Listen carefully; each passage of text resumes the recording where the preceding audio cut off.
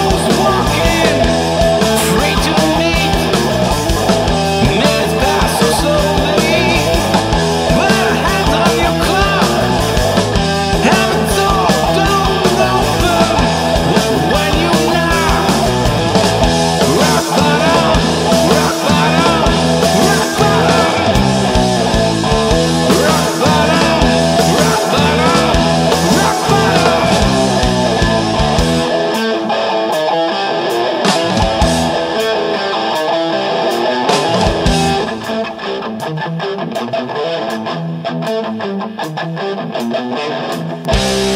all that